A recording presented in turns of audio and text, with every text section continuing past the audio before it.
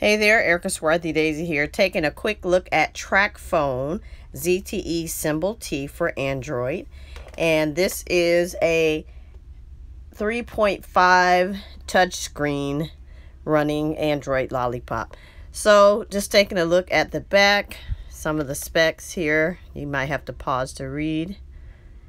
Then again, some more information about activating the device. Some of the plans that they have of course, this phone is for my mom, so she has the yearly plan.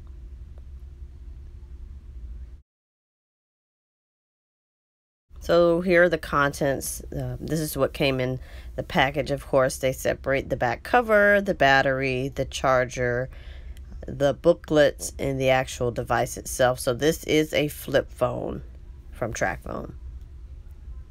Now here is the actual phone flipped open. And as you can see, uh, when it's flipped closed, is a decent size. It's kind of, you know, thin. Um, it's thin enough, I think.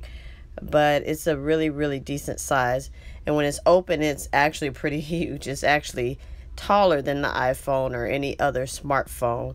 But, of course, it does have the larger buttons. If you look here on the back panel, have a camera. And some of the ports are exposed. Here is just kind of the startup when you initially start it up and activate. And this is the phone when it's closed. And just again, rock, volume rockers on the left. And here it is. Trying to flip it open with one hand is kind of hard, but uh, here it is when it's flipped open. I made a mistake and hit the volume button. But anyway, you see some of the apps that are available. Um, has the camera, opening that and just taking a look. I'm not really looking at anything. My hand's in the way. Let me move that. Okay. So, yeah, you can just see the carpet. But, yes, that's the camera. And um, the camera, if you looked at the specs, of course, is a 5 mega megapixel rear facing camera. Uh, again, just looking at some of the things you have your email access.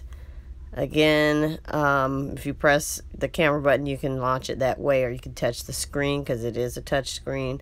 And, you know, you can use the buttons.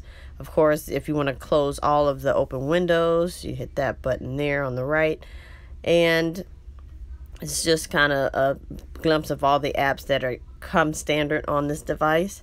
So it's preloaded with like YouTube and all the Google things because it is a Android device. Um, but it's several ways to work it. You can use the um, touch screen itself or you can use the, um, I call it the circle. I'm not sure. I keep telling my mom it's the circle. But of course, you can use this infamous circle button to um, navigate throughout all the different apps. And you would press the um, button in the middle of the circle button to launch apps. So all in all, this is a new device that I'm trying out. It is the best of both worlds to me. It was purchased from Target for $79.99 and it's a good introductory device for my mom who is not ready to switch over to a smartphone but yet still likes the convenience of a flip phone. So i think you guys should check it out. Again this is erica swarthy daisy. Thanks for watching. Bye